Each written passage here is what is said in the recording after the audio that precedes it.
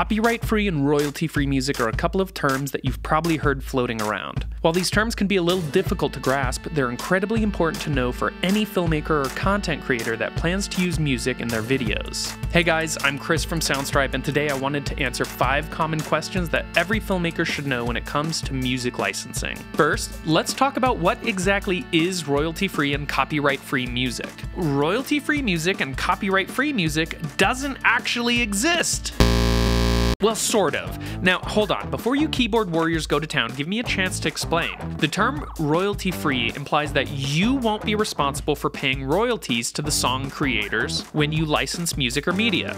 However, when you license through a royalty free media company, that company is responsible and, in nearly every case, does pay royalties to the song's creators. Copyright free music is basically a unicorn, meaning it's really hard to find copyright free tracks. Almost every track out there has some sort of copyright, even music with Creative Commons license. When you license a song properly, you're not only protecting yourself from copyright infringement, but also from having to pay royalties to that song's creator.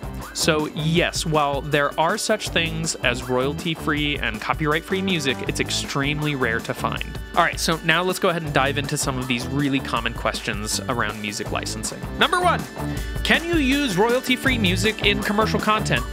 The short answer is yes. Whether you need music for monetizing your YouTube videos, corporate video ads, uh, film projects, etc., you can use royalty free music as long as you license that music properly, and as long as that license covers commercial use. Each royalty free music company works differently, so it's important to be aware of the terms and conditions before you sign up. Number two is instrumental music public domain.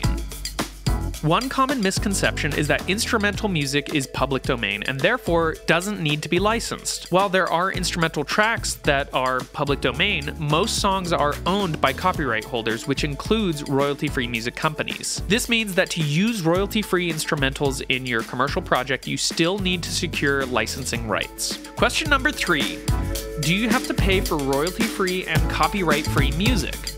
While free might be in the name, royalty free and copyright free music isn't actually free. However, like I mentioned earlier, when you pay to license this type of music, you're cutting out the costs of paying royalties and excess licensing fees. Those fees are instead covered by the company you purchased the license from.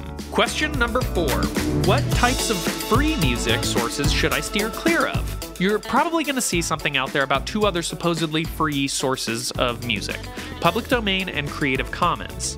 The term public domain is used to describe music that has no copyright and is essentially free for anyone to use. Public domain music would be music published before 1923 or any music specifically released by the creator as public domain. Question number 5. Is there a difference between copyright free and royalty free music? Yes, there is! I'm so glad you asked! Although I threw both terms together, I do want to make a clear distinction that copyright free has no copyright and royalty free means it does have a copyright.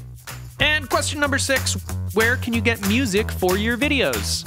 So companies like Soundstripe offer music that can be licensed in any of your video content. That means your YouTube channel, any of your social medias, commercial content, short and feature films, anything you can think of. While there are options out there for royalty-free or copyright-free music from public domain or Creative Commons, the effort that you'd have to put into getting good quality music from those places isn't really worth it, especially when compared to places like Soundstripe where you can get high quality curated music that you can use in any of your content. You should also think twice about Creative Commons music. The idea behind Creative Commons licenses is great. However, Creative Commons licenses almost always require attribution and they often come with murky terms and agreements. In short, it's almost always better to license music from high quality stock music sites like Soundstripe. Having a better understanding of music licensing ensures that you'll play it safe when it comes to licensing music for your videos. When in doubt, it's better to avoid Creative Commons and public domain and go with a music licensing company like Soundstripe to get your royalty free music. If you found this video helpful, make sure to subscribe to the channel to get more content like this. And if you found it confusing, leave us a comment and ask us any questions you have. We'll be happy to answer them in the comments.